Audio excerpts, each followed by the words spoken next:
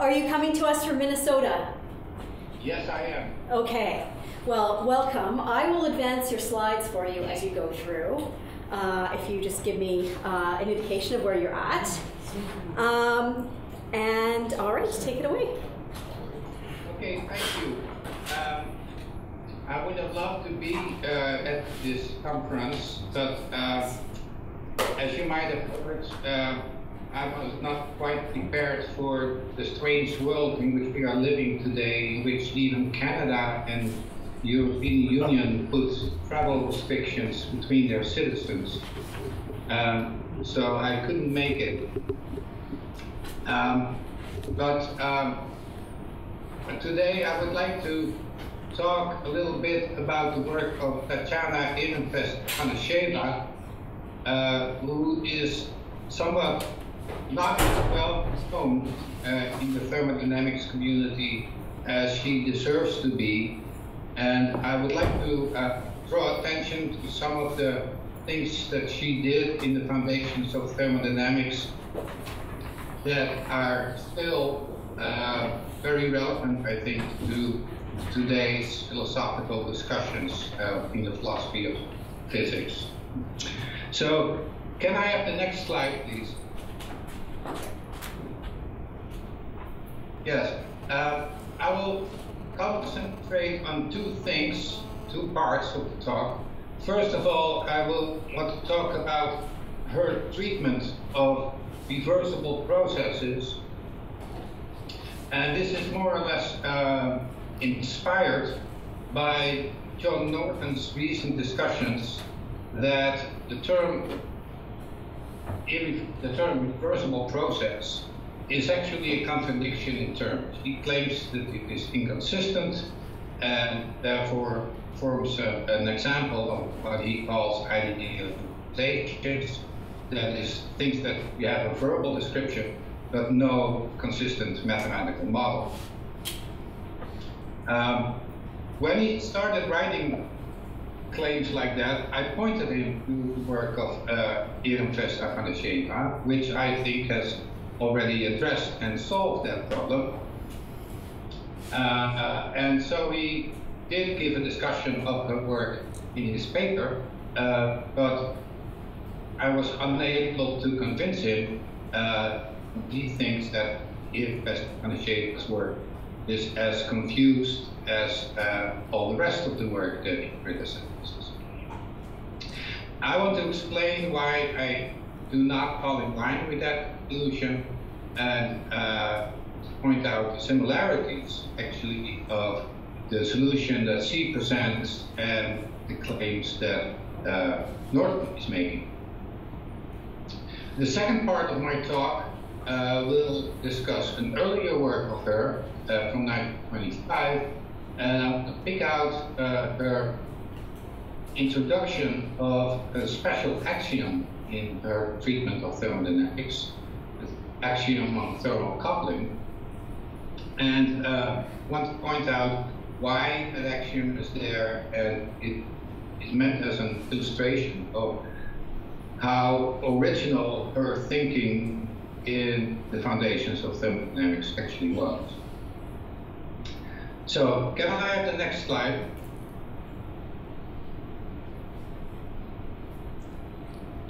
So to start out with that discussion of reversible processes, one might simply ask, what is a reversible process in thermodynamics?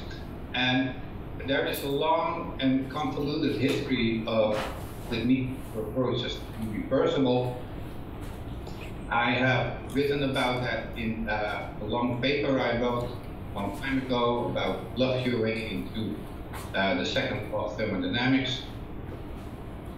Uh, but I'll skip most of that discussion uh, and concentrate on what common you today, uh, which is more or less standard, is that a reversible process is described by some smooth curve in an equilibrium state space for any any thermodynamic system. So for example, for a fluid, uh, the most common state space is the PV diagram, and uh, what you see in the picture below is a representation of the Carnot cycle, cyclic process, which consists of a series of such smooth curves. Uh, the reason why these curves are called reversible is the intuition that you can run that process in both directions. And uh, so, for example, for the Carnot cycle, if you run it in one direction, it's the heat engine. If you run it in the opposite direction, it will act as a refrigerator. And of course, both of those instantiations are used in uh, Carnot theory uh, led to the birth of thermodynamics. So it's actually a quite ancient idea, uh, and it's absolutely crucial to the development of thermodynamics. Um, can I, next slide.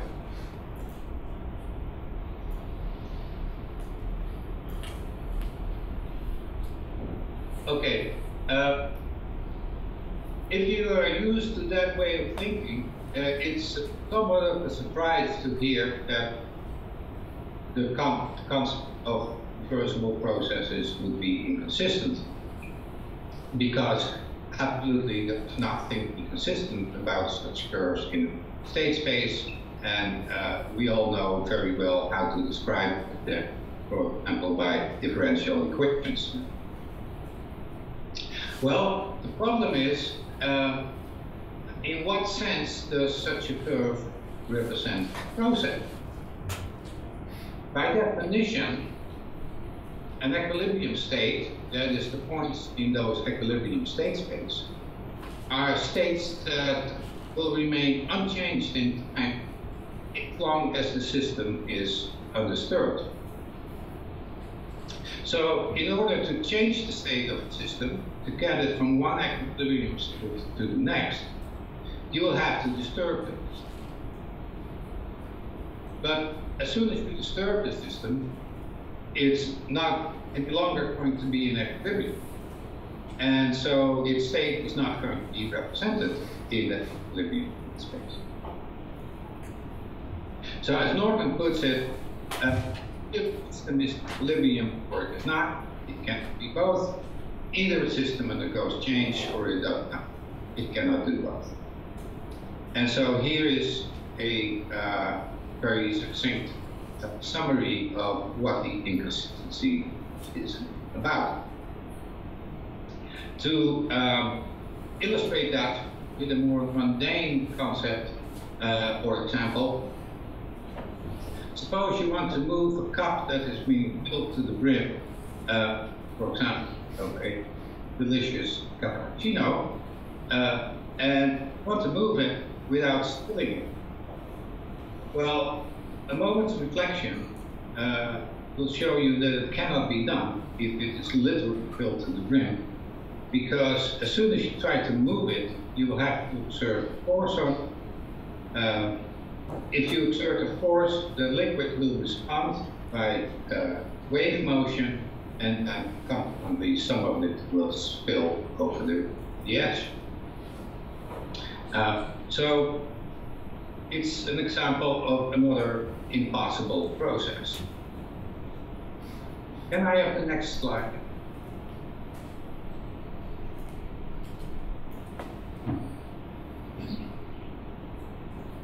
Now, the way people usually address that problem is more just like how you would try to do if you want to your coffee cup. Namely, you try to see as delicate and slowly as you possibly can. And so the standard textbooks that uh, talk about processes proceed very, very slowly or infinitely slowly to take technology or by just using infinitesimal disturbances. Now, Norton is quite right that all of these accounts that you find in standard textbooks and other texts are usually sloppy, informal, and uh, more intuitive. Uh, there is a more careful attempt in Carathéodory's work, uh, and to be somewhat brief, uh, what he assumes in that work is that the coordinates that define state space can be divided into two kinds, one of which is called deformation coordinates, other ones called thermal coordinates. And the idea is that these deformation coordinates um, retain their definition even if the system is not equilibrium. While a thermal coordinate is in, in essence a uh, equilibrium parameter that might not be defined outside correctly. So to be somewhat more concrete, uh, you can think of the volume of the system. Even if the system is not equilibrium, it does have a volume if it's contained in a container. Uh, and you can think of changing those uh, coordinates during a process in which the system doesn't need to be in equilibrium. Now, all those deformation coordinates collectively x and assume that you can describe, prescribe a particular path in time, those initial values of those coordinates some final coordinates, and presume that you take the system along that path in a way in which the velocity of the change of those deformation will vanish uniformly uh, integrated over time. That limit, in which the philosophies vanish in the end, uh, is what Carathéodory calls quasi-static process. That, as I uh, said, uh, is today almost regarded as synonymous with reversal. Uh, there is some more work to be done to recover the thermal coordinates in the initial and final state, but I'll skip the technicalities. Um, but I just wanted to point out that that is the most formal and precise description that was available at that time in the early 20th century. Uh, as you will see in all of those cases, whether they're formal or informal, uh, the term reversible process actually implies the limit of what is actually sequence processes. Um, and to remind you of another theme that Norton is always keen to point out, if you have a limit of things, uh, then that limit might not actually be a thing of the same kind that you're taking limits up. So that's important to keep in mind. It's of course very familiar to anybody who has uh, studied the notions of sequences and limits in mathematics. Um, but it's sometimes tends to be forgotten. So let me now turn to the next slide and talk about uh, Tatjana who was famously married to Paul Ehrenfest, and they did a lot of job work together, main statistical mechanics. But she also wrote works on her own, and in particular, I want to talk about uh, a paper that she wrote in 1925 on the axiomatization of the second thermodynamics. And 30 years later, she elaborated her views in a booklet called Foundations of Thermodynamics, uh, which, as I said, seems to be almost forgotten, but is actually a gem of uh, original insight. Uh, although her work thermodynamics are somewhat few and far between, uh, she did have a much stronger general influence uh, in the Leiden community of physicists uh, in particular on Geertruida de Haas Lorentz, who was Lorentz's daughter, uh, and also married to another physicist, Haas. But she was also a competent physicist by herself and wrote a book on uh, the two laws of thermodynamics in Dutch uh, in the 1940s. Another example uh, is Philip Kohnstamm, who the co-author with uh, Van der Waals of a book, textbook on thermodynamics, first appeared in 1948 uh, and was called uh, Leben der Dynamik in German. Um, and it's quite amusing that 1928, uh, when Van der Waals was already dead, Kohnstamm issued a second edition of that book with a preface that shows that he was completely convinced of the views of Tatjana Afanassjewa. Um, and as a consequence, he changed the entire presentation of the book. And he changed the title, which was now called Leerbuch der dem Staat. And that is in uh, response to general claim of uh, that thermodynamics is really not a dynamic theory, but mostly a theory of equilibrium spaces, and that therefore it's much more appropriate to call it thermostatics than thermodynamics. And Kohnstamm was apparently so much impressed by that that he didn't mind changing the title that Van der Waals had mostly written uh, in 1908, but Kohnstamm changed that posthumously. Uh, next slide, please.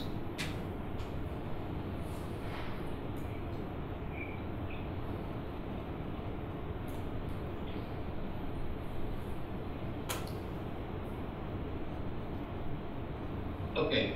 Um, the starting point of Scheva's approach to thermodynamics was, of course, Carathéodory's approach of 1909 that was not immediately well noted in its community, but it received much more attention. The book uh, wrote a more simple and popular version of that presentation in 1921 and then it became the subject of a extended debate between uh, Born, Planck, uh, and many others.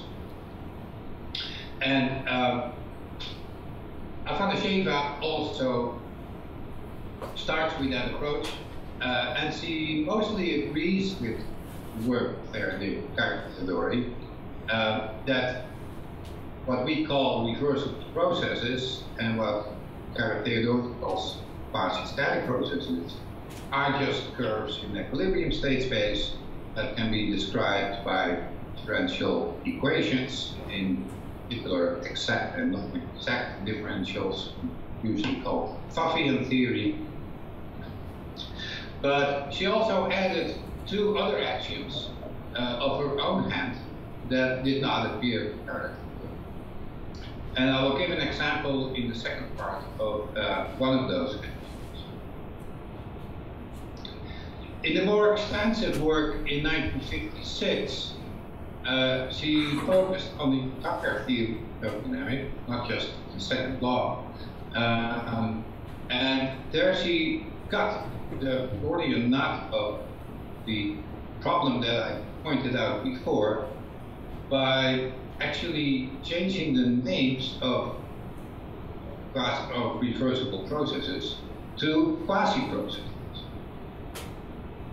That is to highlight that they are simply not meant to be changes that the system can go through in the course of time. They are just curves in an equilibrium state space. And therefore also, since they're not processes by themselves, the question of whether you can reverse them in the course of time just makes no sense. And reversibility or irreversibility can only be adjectives to processes, but not curves in an equilibrium state. However, of course, just changing the name is not enough.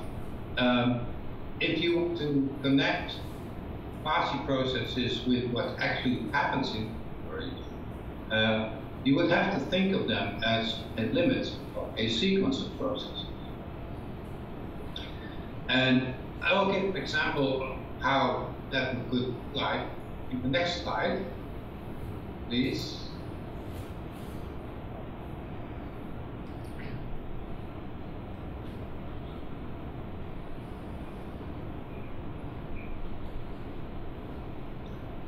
And made an attempt to draw what I find.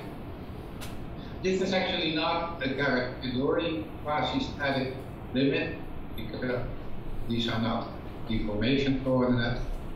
But suppose I would like to heat up the system, which is a small box uh, in the left upper corner, and it's in contact with heat bath at an initial temperature. And in order to heat it up, I take it out of that heat bath and put it in another heat bath that is slightly higher temperature. If I do so, that system will be out of equilibrium. Uh, it's doubtful whether it has a, a temperature by itself at that stage, but I can let it sit in the next heat bath for as long as you wish until it equilibrates with the second heat bath and then it will have the temperature of that second heat bath. Now you could repeat that by moving the system to another heat bath which has an even slightly higher temperature and wait a long time until it equilibrates over there and, and you repeat that in as many steps as you wish until finally you get at the final temperature, uh, which is depicted on the far right. Now that is a sequence of processes that you could perform in a laboratory.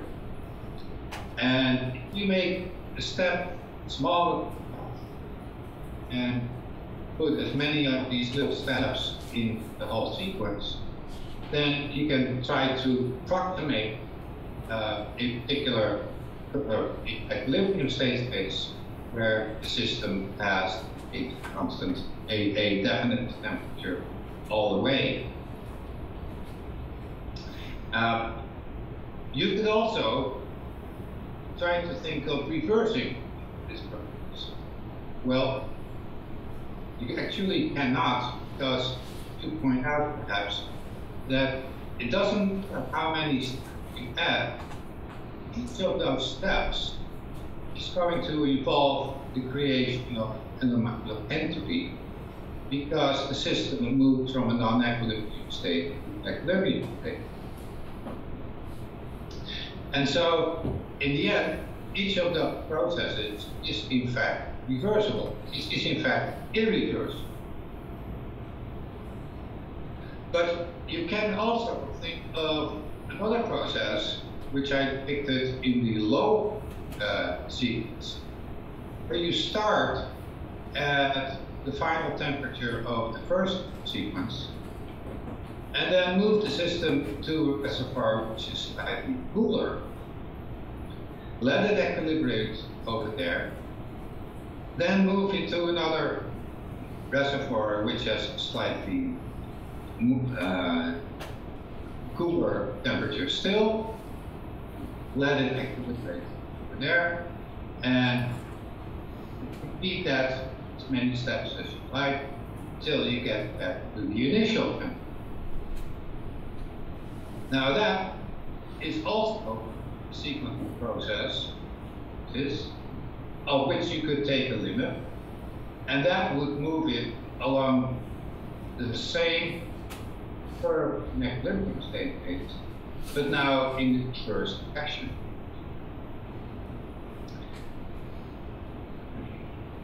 So that's the closest you can get to a reversal. Now, how would that look like if I try to in a state space? Uh, and could I have the next slide?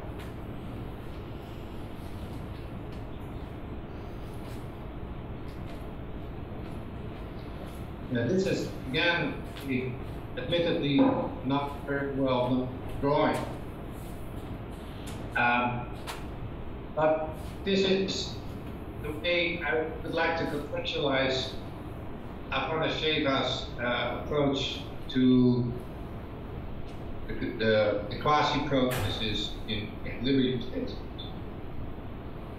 So what I'm trying to draw on in the uh, thick wavy line that goes through the middle is the equilibrium state space which I've now collapsed to a single dimension um, just in order to make a picture more accessible. And on the left, you see a big dot of Fi, which is the initial state of your system. On the right, there is another dot as F, which is the final state of system. And there's a quasi process, a curve in equilibrium state phase that starts in Si and in F. Now, if you want to take a sequence of reprocesses in order to approximate that curve, you could start out with the uh, dotted line on top, which is you take system initial state, disturb it so that its state is no longer in equilibrium state space, but now is outside of that space. And we'll go through maybe quite convoluted and difficult to describe evolutions. There might be uh, turbulence, there might be shock waves, there might be all kinds of things going on in that system. But hopefully, in the end, and if disturbed it in the right way, it will settle down at the final state SF uh, in the course of time. So that would be the first approximation to the quasi process. Uh, and in the manner that I just sketched on the previous slide, you could try to cut up that step into smaller steps and go to the second series of uh, steps that is now the, the three uh, arcs uh, just below the line and uh, take them from the initial state to the final state uh, in a series of steps. And if you make the steps smaller and increase the number, you will have a, another uh, real process, an irreversible process, by which you can approximate that curve in equilibrium state space uh, in a better and better way. Similarly, you could start out from the final state and there is a process that will take it to the initial state. That is the lowest uh, dotted line in this figure. Uh, and again, uh, you do that by disturbing the system, so you take it out of the state space, and that is a very high dimensional state space. It's very hard to give any exact description of it. Uh, but if you do it the right way, hopefully in the end it will settle down back in initial state of the uh, first mentioned process. Again, you try to approximate that, but at sequence of smaller steps and making those steps smaller, smaller, smaller, you can approximate that very same uh, curve in equilibrium state, the quasi process. Now, the important thing to notice here is that any process that I use to approximate the curve uh, is actually a reversible process. Uh, but they both quote same curve, uh, one time running from the initial state to the final time. In the other case, from the final state back to the initial state. And of course, both those sequences are different processes. None of the any uh, member of the sequence of the first kind uh, will be exact reversal of any sequence on any member of the second sequence. That's why I draw them on different sides of the equilibrium state. So the question whether that curve in uh, equilibrium state is reversible and whether it can be reversed is strictly meaningless because they can only be approximated by irreversible processes. And so the very objective uh, to call a quasi, quasi process reversible simply loses sense. It's just not a concept that can be applied to those They, you can give these curves orientation, but you cannot revert them in the course of time simply because they're not processes in the course of time. So this is, by means of an example, how Afanassjewa's approach to the problem of revertible processes looks like. Now, can I have the slide?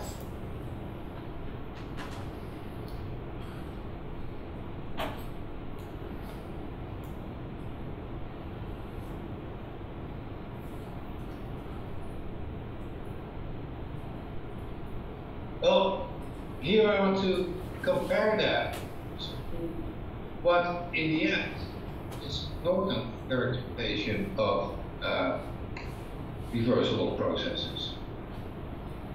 It's somewhat remarkable in this book, in this paper, that he at the same time tries to argue that the concept is consistent, but also tries to give a distribution of them. And this is a, uh, a diagram that I borrowed from his paper, where he also shows that there is a sequence of non-equilibrium processes, irreversible, each one of them, that can approximate the curves in an equilibrium state. And you can from an initial state to a final state, as in the top sequence. Or you can do it from the end state to the initial state, which is the lower sequence. Both of them are sequences of irreversible processes that approach the same perfect But that doesn't change the fact that each of those sequences consist of irreversible processes. So you will see the similarity, I hope, between this approach and Carathéodory's approach. And although I wasn't able to convince Norton that that uh, approach is actually the same as the approach that he suggests, um, they are very related. And I think that Norton didn't completely understand and I don't blame him for it. He's sometimes hard to read. Uh, but this is what I the that Fukushima did, and she, I think, clearly uh, preempts uh, Norton's solution, or at least the works very, very similar to what Norton comes down to in the end. So, can I have next slide?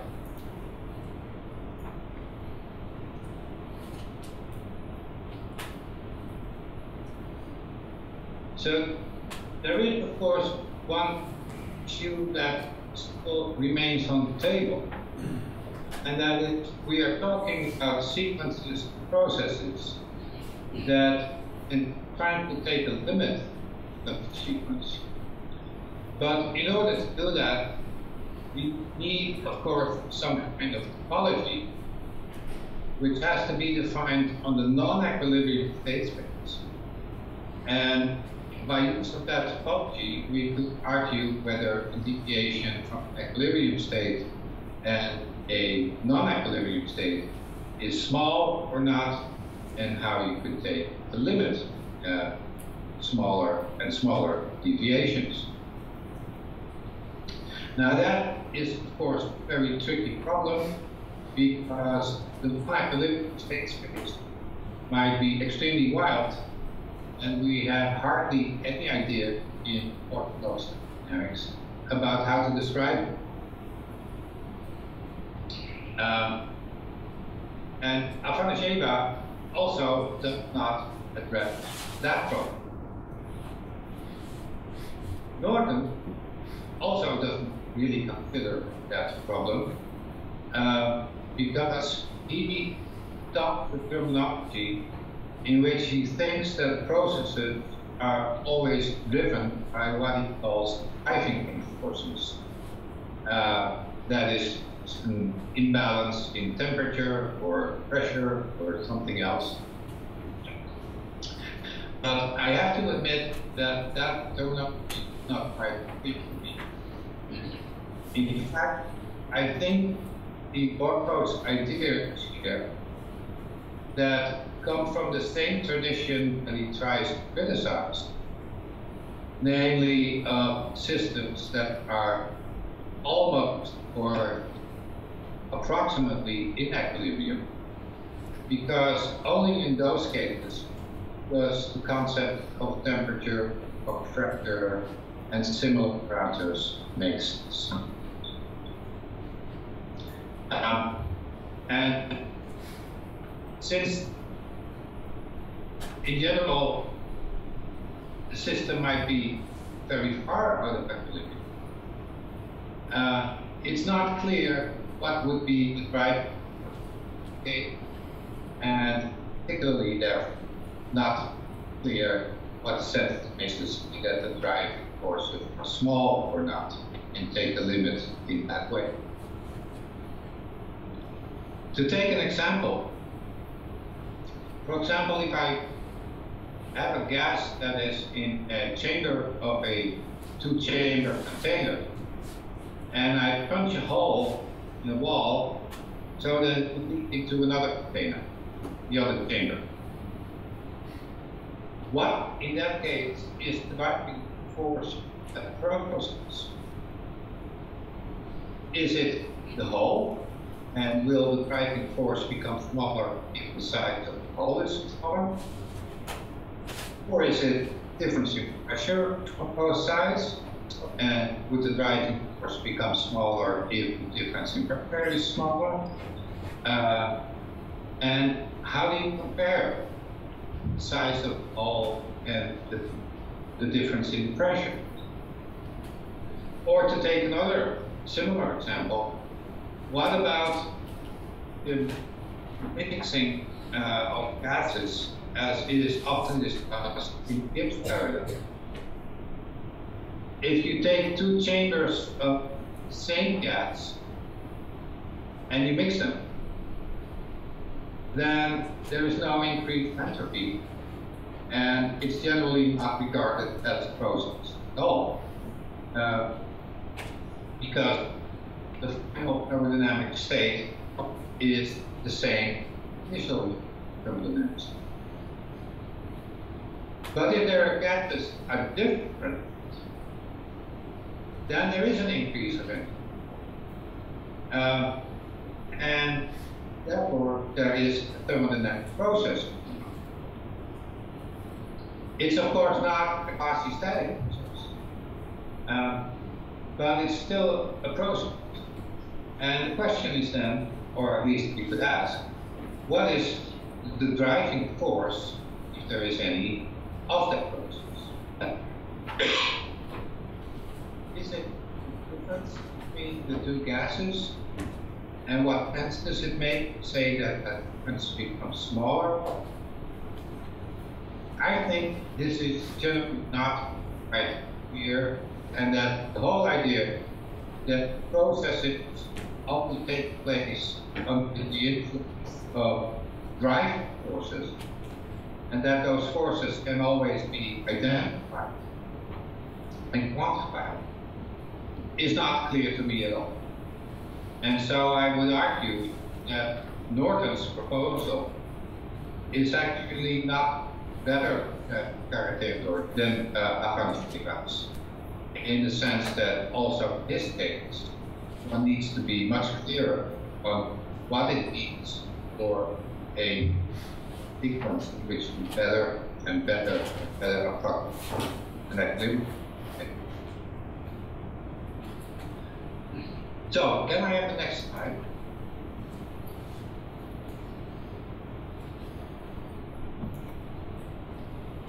So, to summarize what I've been saying so far, uh, I think it's important to realize that the concept of reversible process is just not inconsistent, despite of anything that Norton has written about. But it is inconsistent, of course, if you think of it as process. And that's the entire point of, of Afanassjewa's uh, renaming it, that it's much better to call them quasi to uh, emphasize that you should think of them as process. Still, I also want to out that I think there's an emphasis, uh, there's a difference in emphasis between their two questions. Because it seems to me that Norton uh, is mostly worried about which personal processes are processes. And therefore it comes up with this claim that they are inconsistent. Afanassjewa was also worried about the same concept but her emphasis was much more on the sense in which you could call them impersonal, uh, which I tried to find out uh, is also is actually a term that also so they're neither reversible nor processes, but there is a conversation of what are called reversible processes. And as I also uh, pointed out, there is still a lot of work that remains to be done in characterizing the program topology in which to take these limits. Uh, and that's all I wanted to say about that discussion for the moment. Uh, how am I doing on time? Uh, it's quarter after one, and what time are you going to tell me? I'm sorry? Um, what time are we going to? Uh, yeah, so we're, we're, we're, we're going to um, 245, so I mean, it's just how much, so, it's just a matter of how much time is left for discussion. Sorry, but yeah, quarter after two, so we have half an hour left in the session? In total? Yeah, right. We got half an hour left? In total, yes. That, but that includes discussion. Okay, then, uh, well, I'll try to be brief about the second part. Can I have the next uh, slide, please?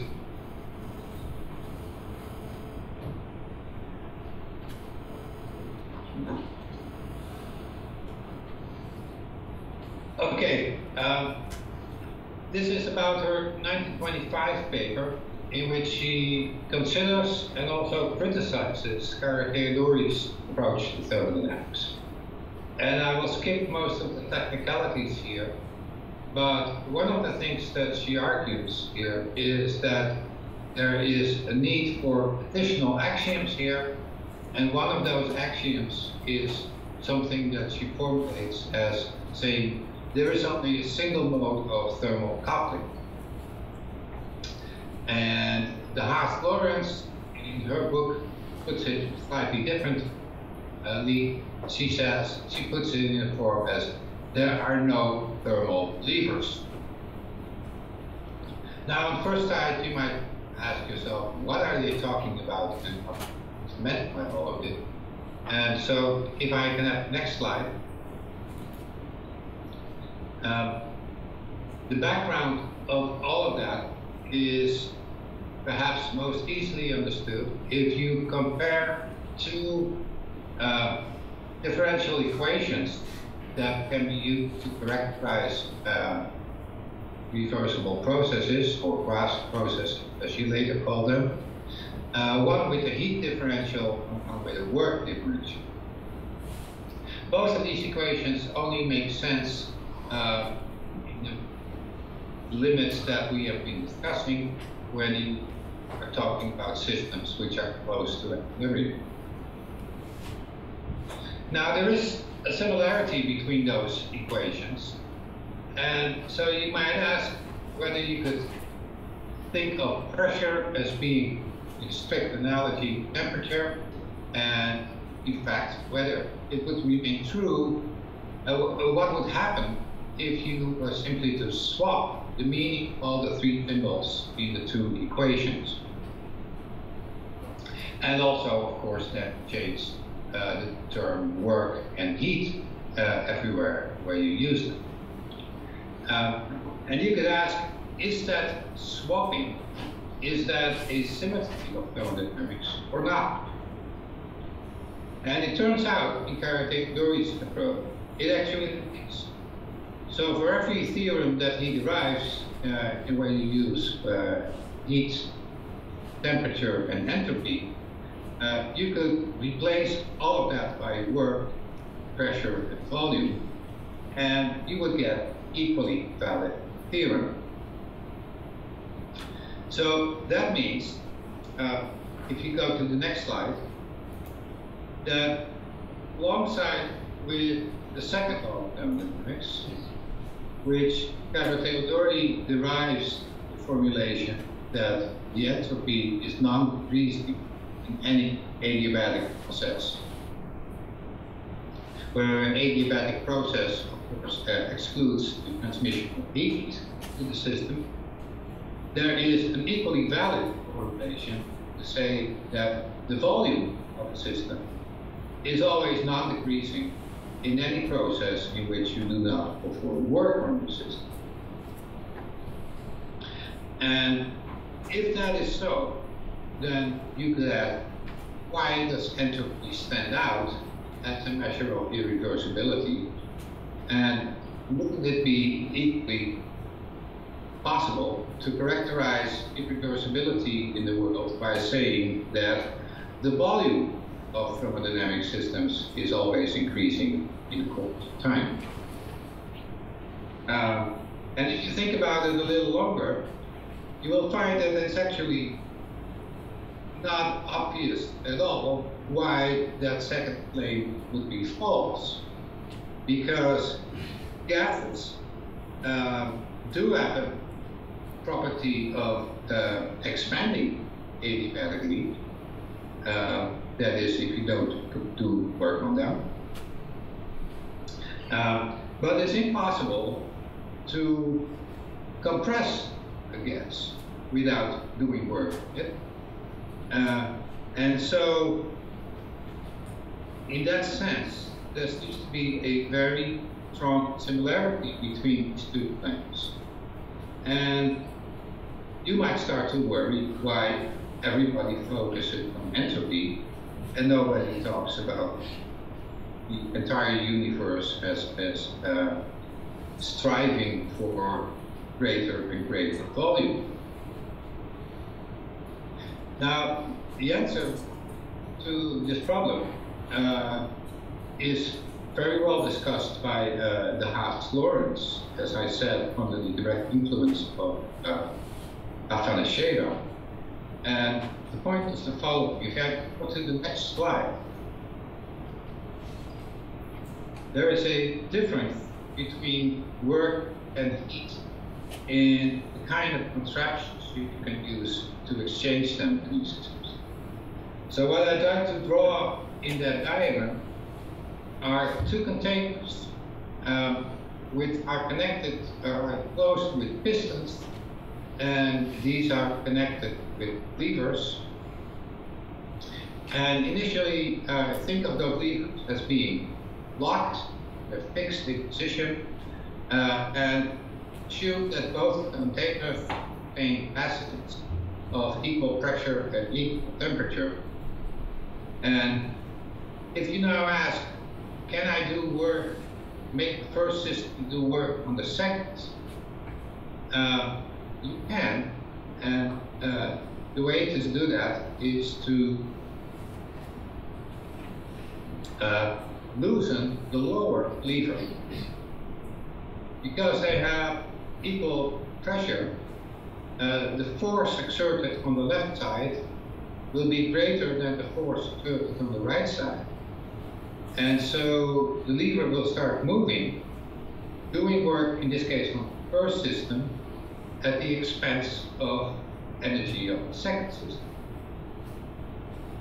But instead of loosening the lower lever, you could also loosen the upper lever. And then the direction of work will be reversed. In this case, it's the other gas that does work on the first system. So whether one system does work on another or the other way around, depends on the type of mechanical coupling you use to connect them. This, of course, is just nothing else but hydraulic action.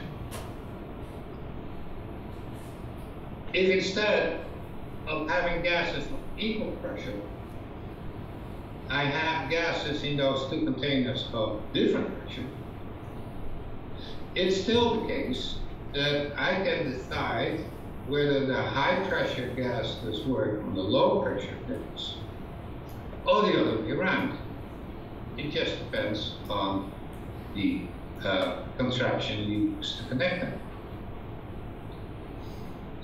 So there is an important distinction between work and heat, and that is that a system with low pressure can very well do work on a system with higher pressure. Whereas with temperature, a system with low temperature cannot transmit heat to a system of higher temperature, which, as you will remember, is Clausius' way of putting second So there is a distinction between thermal couplings and mechanical couplings. Namely, mechanical couplings depend on the device you use, while thermal coupling only can happen in a way that determines the direction of heat flow. And that is why, uh, why uh, insisted that Carathéodory needs additional action uh, in order to remove that symmetry of dynamics which his formulation would otherwise possess. And I'm not sure about how you think about this, but I have never seen any other text that discusses examples like this at all. And so I think that this is a very original and very insightful insight of Afanassjewa, and I wonder why it is not more widely known in thermodynamics. So this is uh, all I wanted to say. Thank you very much for your attention, and uh, I'm looking forward to questions.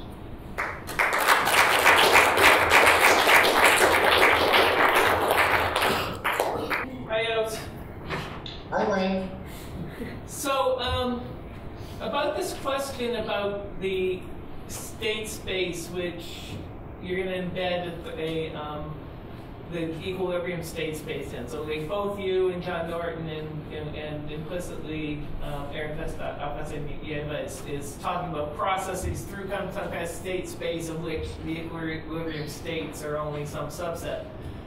Yes. How am I to think of that in terms of the microphysics? So um, I can think of two candidates. That um, one is you've got the underlying mechanical state space, the, the classical mechanics, the phase space, and somehow or another the state space we're talking about is some kind of coarse graining of it. Or else the, the whole state space, there, or should I think of the equilibrium states as certain kinds of probability distributions on um, the phase space, and then the larger state space in which it's embedded would be this, the, the space of all probability distributions on the um, phase space? That's a good question. Uh, and that's why I said it's, it's very difficult to make progress in that direction. Um, there is a multitude of conceptions that you could use for a description of non-equilibrium states. Um, you can take the statistical mechanical approach, uh, in which you have a phase space, uh, which contains uh, positions and momenta of, of, particles in your system. Uh, and you could also consider the class of all probability distributions on that. Um, there's also uh, a long-standing tradition uh, to which was a hydrodynamics uh, and describe the system as some continuous medium, uh, but in which you can have all kinds of flows and turbulence and, and uh, non-equilibrium situations. There might be sound waves coming through your system that can be described uh, hydrodynamically. Uh, and then equilibrium full space some subset. That's so there is, is really a uh, a wide a, a wide variety to choose from in characterizing such a non-equilibrium state. And as far as I can tell, uh, the problem of finding such a characterization is very difficult and has hardly been looked at in any philosophically sound manner. Um, precisely because it's not even clear how to coordinate, how to find coordinates for such a space, uh, and what its topology might be. And you pointed out there's also another conceptual problem that you might take that either is a phase space, physical mechanics, or the classical probability distributions computation, uh, which would give you another space to consider. Uh, so yes, uh, I personally do not know of a uh, convincing and elegant solution to that problem. Uh, I just think it's very hard uh, to make progress in any reasonable scenario. Rob? Just a, a follow-up on that. Uh, why do you say that if we take the space of all probability distributions, for example, that uh, it's then going to be a challenge to, to define topology and things like that? It, it seems to me we have a lot of mathematical tools for doing exactly that. You know, there are metrics on the space of probability distributions in terms of, you know, statistical distances between probability distributions. So I could certainly define, for example, the notion of a uh, process being weak or a driving force being weak in terms of uh, metrical distances on that space. Oh, yes. Um, so why is that problematic in your view, using that approach? Oh, the problem is not that you cannot define a metric or topology of such spaces.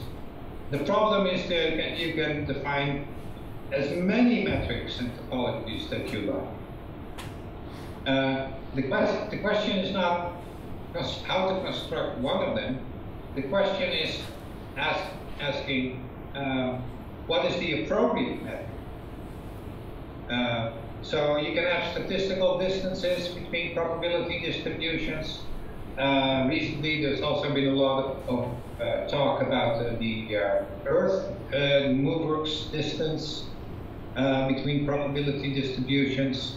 and there are lots of metrics and lots of topologies that mathematicians have come up with.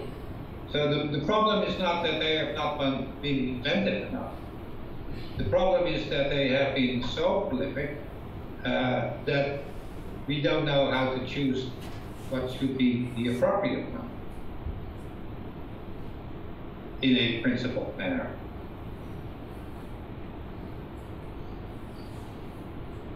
And, and that's why uh, one typically discusses these problems in terms of examples. Is that answer your question? Well, maybe you could clarify what what could go wrong. Uh, what, what's the problem with this arbitrariness of choice? Are there certain conclusions that would come out differently depending on the choice? What, what do you have in mind exactly?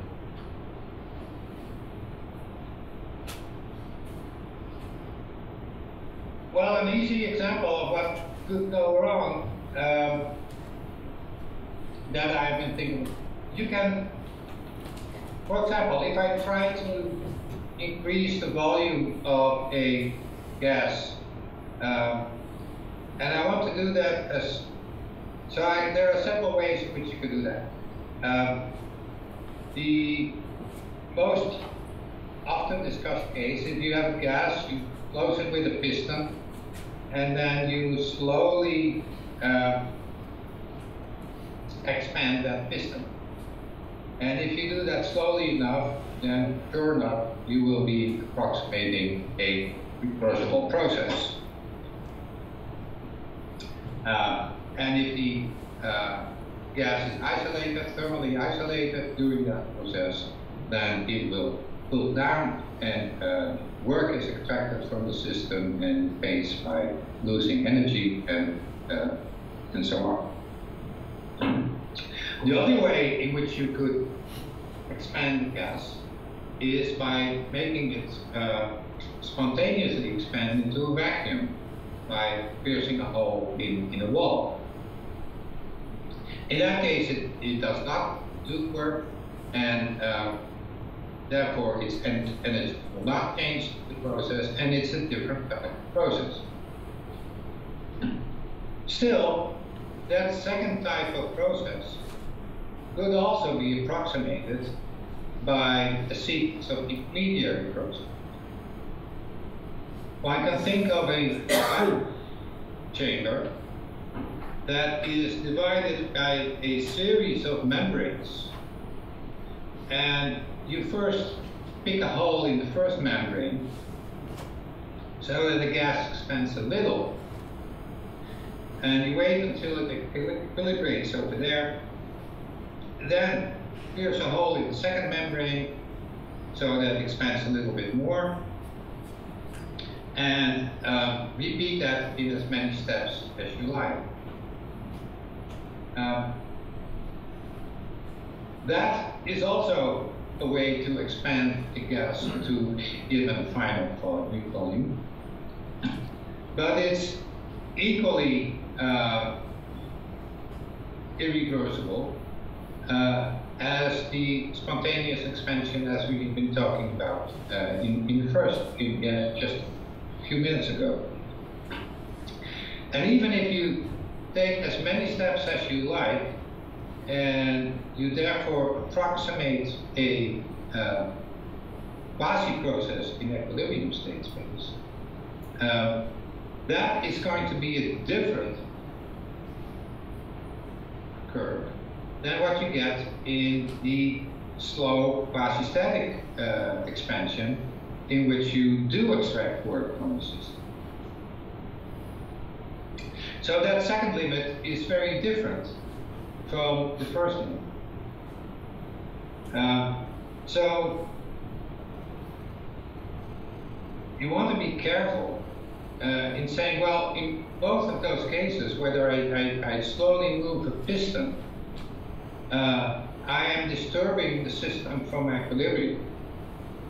But that's a very different disturbance from what you get if you just give a little bit more volume to the system by piercing a hole in membrane. Even though both of those disturbances are small, they have to be treated differently. And so you need a metric that will be uh, sensitive to all these differences that are relevant in discussions like this. And that's why uh, I think that the choice of an appropriate metric uh, is going to be uh, is going to need careful reflection. Uh, and it's not simple and obvious to me how that uh, will pan out. Is that clear? Yes, thanks. Yeah. We have time for one more question, if there's another question.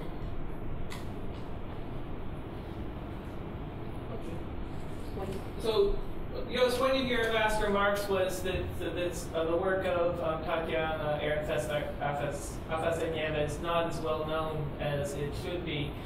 Um, one reason is you know, that, that book on the foundations of thermodynamics is not particularly easy to get, at least in North America. I mean, there's no English translation, but I know. Yeah, but also it's just not in a lot of libraries. I have a photocopy of the book, but I had to get it from Interlibrary Loan, and it came from something like British Columbia or something like that. Um, is it the same in German-speaking world? Is it, is it you know, um, um, are there not just just not a lot of copies around? Um, I'm not completely familiar with the entire German-speaking world. I uh, do have a copy myself, but uh, to illustrate your uh, your point, uh, I got that copy from the library in Utrecht, who uh, wanted to get rid of it uh, because uh, well, I can see in the uh, uh, on the first page that the last time it was uh, actually borrowed by somebody. It was in the 1990s. Uh, it might perhaps have been me. so it, it wasn't used very often, to say the least. And they uh, dumped it from their collection. And when I found that out, I of course gratefully received ownership of that copy. Um, and it's uh, well, it's a small publisher, Brill in Leiden.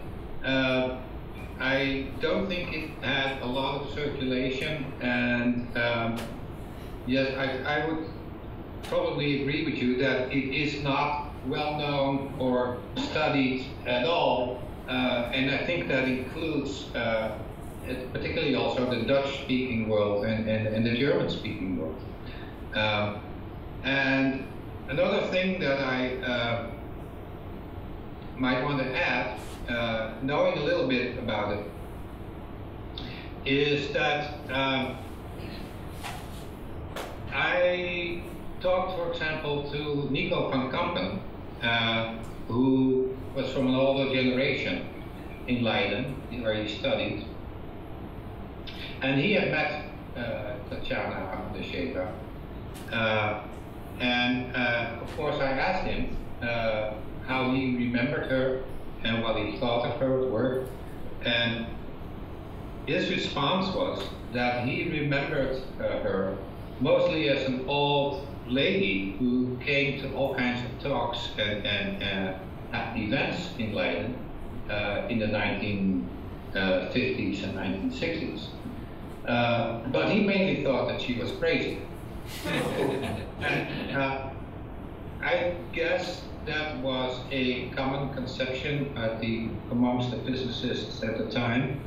Uh, And I have to add here that in Van Kampen's opinion, uh, who I, uh, which I know very well, and he was always extremely sharp at people. But his general opinion was that everybody who took thermodynamics seriously uh, is crazy. because that generation of physicists thought that thermodynamics is just a obsolete theory that uh, has been replaced by statistical mechanics and quantum mechanics, and anybody who seriously, seriously worries about the foundations of thermodynamics is out of their mind. Uh, and that general approach, uh, to which I might add also, of course, the fact that she was a woman, uh, were certainly not uh, helpful in getting her ideas uh, more uh, attention. In fact, uh, another personal anecdote I might is that uh, I have been fascinated by uh, her figure and her for maybe 20 years or so. but and I've been talking a little bit about her at some occasions. And uh, I have been trying to get my historian colleagues in Utrecht, uh, who have been working for Paul to also do a project on Achana. And the response I got at that time uh, was extremely negative because, and I quote one of my colleagues, they thought that she was just a woman doing the washings and uh, the laundry for all polyamorous, and that it was a waste of time to devote any serious historical study to her. And at the same time, um, a few years later, uh, I got a message, mail from uh, John Stachel and Mara Beller, uh, saying that they were interested in Tatiana and wanted to do some work on her, but that they heard I had already had done some work on her and they wanted to uh, um, uh, collaborate on that. And uh, well, I said, well, I was very interested in her ideas, but that I'm not an historian, so I, can't seriously propose to do historical work. Uh, and I said, well, if you want to go ahead and do some historical work please do so. I want to encourage that. And when I uh, told that to my historian colleague, they were extremely negative once again and said, you can't let those foreigners get away with our historical figures. uh, so they were unwilling to devote any study to her work, but they were also extremely jealous uh, if somebody else was trying to do that. Uh, which again uh, explains uh, why she has been so uh, unknown to the general public. Uh, another thing that I might add finally is that um, uh, we are now in the process, uh, together with uh, uh, Lena Zuchowski and Charlotte Werndl and uh, Giovanni Valente, to edit a book on her work uh, in which we also try to translate uh, the parts of her uh, German booklet uh, and get several historians uh, to look at her work as well. Um, and not only on thermodynamics, but also uh, there are very interesting views on the didactics of mathematics. Um, the final thing that I wanted to mention is that I was wondering at, at some point uh, whether she ever had a official position in uh, Leiden at the university. Uh, as her husband had. And so I asked an historian about that, who was uh, uh, collaborating on this project. And she pointed out that, as what I actually should have known all along, that uh, until the 19 un, until after the, the Second World War, it was actually illegal in the Netherlands for married women to have a paid job, at least with a uh, state organization. And since Afanassjewa was married and Ehrenfest had a job, uh, she could not get any position at the university, state university, uh, by legal uh, rules. Uh, and of course, that is a